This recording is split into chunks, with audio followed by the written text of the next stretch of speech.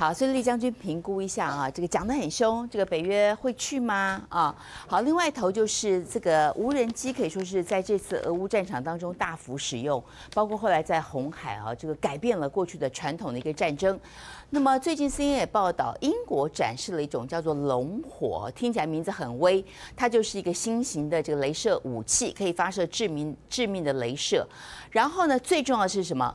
很便宜啊，单次发射才十三美元而已，所以对于这个无人机来讲呢，哈，它可以这个有效应对，因为过去用导弹打无人机实在是一个不划算的一个这个做法啊，所以每发射一次成本超呃，过去有没有标准二型飞弹发射一次成本就两百万，那以后用这个龙火的话，远距离它可以打击硬币大小的目标，然后这个把这个无人机都打掉，就改变了这个防空游戏规则。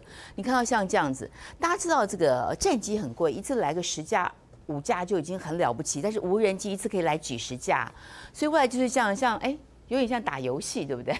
打游戏的概念。对，我先讲一下这个肖兹这句话，我觉得非常的有趣。他说：“我们支持乌克兰，但是我们没有兴趣与俄罗斯交战。”是的。我觉得就就像是什么，有一个猎人，他去打北极熊，就开了一枪以后，旁边那个人说：“哎，我们只有兴趣装子弹跟瞄准，我们没有兴趣去扣扳机，扣扳机的是乌克兰。”所以现在来讲的话，大家都很怕这个俄罗斯嘛。这只北极熊大概要开始反扑了。你没有把它打赢的话，它回头就是反扑。我觉得这个马克龙就是说，我们大家一起来对抗这只北极熊。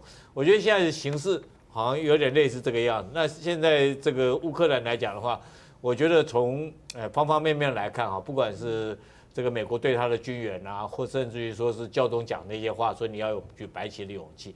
我特别要说哈，这个当然让人家非常感慨。这个乌克兰这边来讲的话，你知道他现在要再征兵五十万，因为他部队打完了。你知道这五十万是他的标准是什么吗？他有三种人可以征兵。第一种是残障人士，就是你已经这个因为战场上面你受伤截肢或干嘛，只要你还有手可以，还要再上，你就可以上战场。第二种人是囚犯，他有征兵，也有他征兵。第三种是女人。他现在要要开始征兵征女人，我们在镜头上面已经看到，其实乌克兰有很多女性来讲的话，呃，我曾经看到一个就是才二十四岁一个女兵哦，她已经也因此而阵亡了，这个是事实。所以说我们呃现在乌克兰少了不只是男人，可能是这场战再打下去的话，包括他的这种老弱妇孺可能都要伤亡。对这份报道当中，我特别有访问，就是说这个呃。呃，有一个民众就描述了他家里面哈，家里面这个呃儿子，他说呃就是膝关节有问题，天生膝关节有问题，但是好在这次的征兵当中呢，五分钟就通过了那个体检，对，啊就还是要上战场，所以就跟我们台湾现在一样，我们现在来讲，役男的标准不是也降低了吗？一百五十公分就可以入营当义务役，也是同样的同样的一个状况了，就是说你当你兵员，你需要急需兵员。但你兵员又不足的状况之下，你就只好把标准降低。那我第二个我讲这个龙火啊，大家都讲镭射武器，我特别强调为什么镭射武器这么厉害，因为它有两种特性是一般传统火药武器做不到的。第一个它的速度，它是光速，所以说我只要看到我就可以就可以射击，我不需要去算它的前置量，或者是你再快的武器，我只要说是瞄准到你，我只要一口扳机就是光的速度打出去，所以它没有什么这种前置量啊或这种问题。第二个，它是它是直线的，它没有我们一般武器都是有抛物线嘛，像枪支射击啊，或者是飞弹然后干嘛，都是一种抛物线的原理。那它是属于直线的武器，所以它不需要说，哎，我我我我我可以直接瞄到就打到，所以可以说非常的精准，也非常的快速，非常好用。但是它也有它的缺点，它受限于什么呢？第一个天后，因为它是光的东西嘛，镭射是光，它只要说有雾或者是沙尘暴啊或干什么，会就会影响到它的。射击的呃距离远近就会影响到它，还有它的销毁能力。那我觉得现在这种武器，当然如果说是英国说它已经发展成功的话，我相信也有可能。但是原则上大概只限于野战防空，就是防一些小型的无人机还可以。但你如果说是要防那种大型的无人机，譬如说察打一体来讲的话，人家在很远的距离就已经发射飞弹来讲的话，对它这种武器，呃。可能那么远的无人机，它就打不到了。所以有可能什么改变防空游戏规则吗？就我我觉得短期是一定可以做到这种，就是我讲的是野战防空了。野战防空就是跟着部队一起走的，就是我这个陆军部队，我我战车部队走到哪里，我旁边有一台这个防止无人机。因为最近战场上我们看到，不管是美国的 M1 战车，对不对？好被打爆的四辆，大家都是无人机攻击造成的。或者是说我们在这个以色列战争里面，他梅卡瓦坦克也被也被击毁过很多辆，都是无人机攻击的，所以他们会在上面装那个顶棚。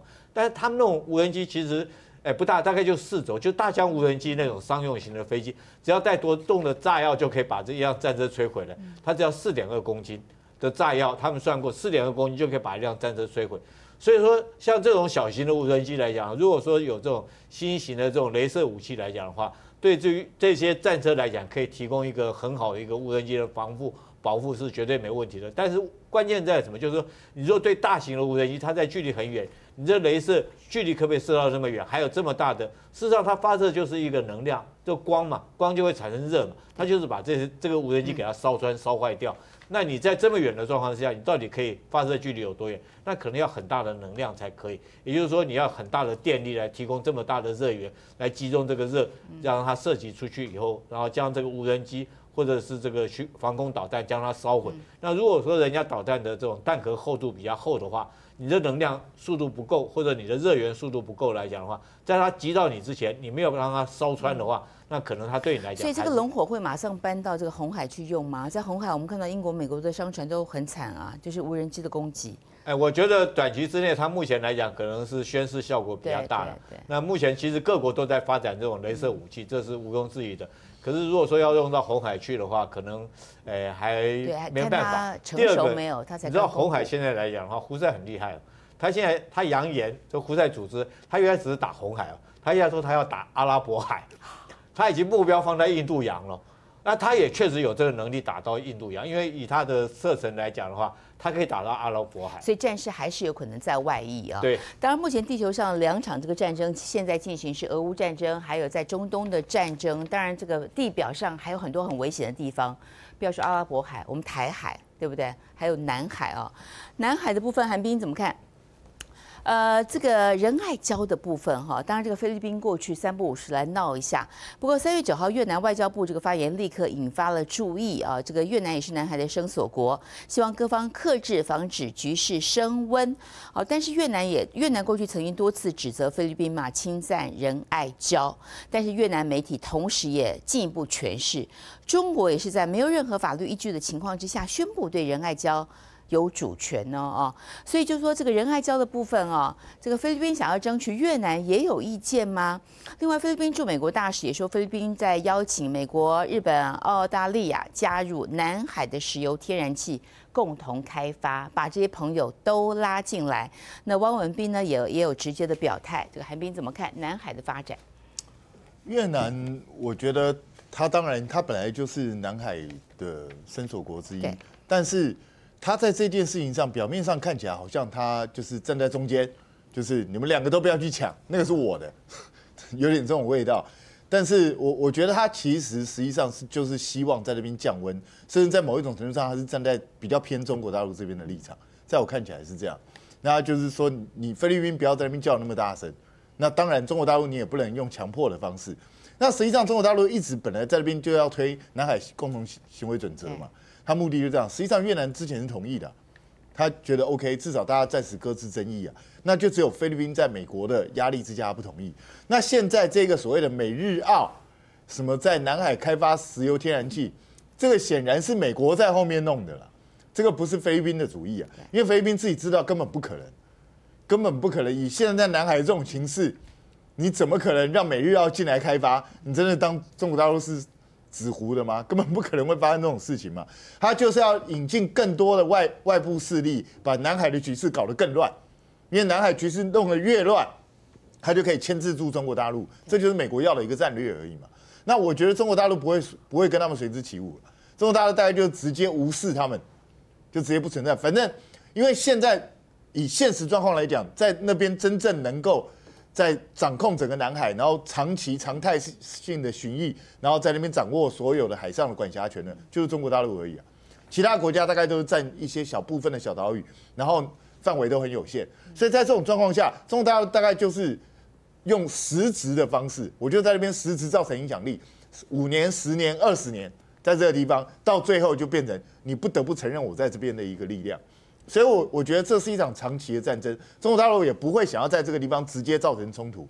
你说在那边直接跟菲律宾啊，或跟美美国直接硬碰硬，他也不会想要这样做。但是你也不能做的太过分，你如果硬的来，我就跟你硬的对回去。但是菲律宾应该也只是虚张声势，在那边吼一吼，他也不敢真的做哪一些很严重的动作。所以我觉得双方这种对峙的态势，可能还是会延续到很多年。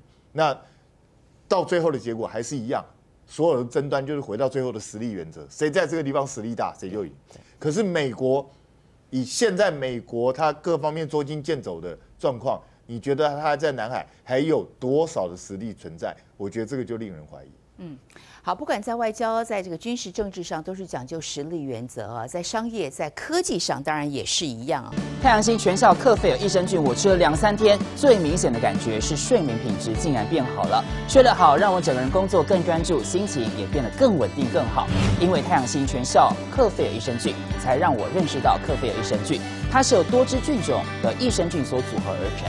不仅能够维护消化道机能正常运作，还拥有多种有益健康的保健功能，相当强大。你知道吗？有台大教授专门研究它，称它是神仙的礼物。上千篇的国际研究证实，克菲尔益生菌不仅帮助肠道健康，肠道菌透过肠脑轴影响全身器官，所以维持肠道菌丛的平衡是解锁身体健康、精神健康的钥匙。对帮助睡眠、维持好情绪真的很有感，也因为这不是药，有季节敏感、代谢困扰、关心恶性细胞风险的好朋友，选择太阳星全效克菲尔益生菌，做好日常的保养，身体健康没负担。每日克菲尔时刻美好，Good Feel Feel Good，请上快点购健康下单，输入推荐代码有额外的折扣。